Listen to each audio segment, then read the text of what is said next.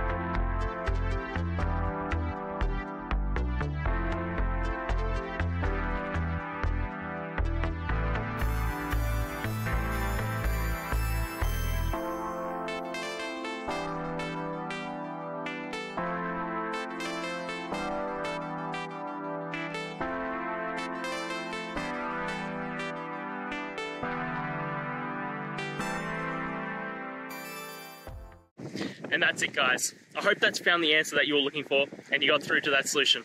If you did, please hit the subscribe button. I'd really appreciate it. And until the next time you have a technical issue, I'll see you. Have a good one.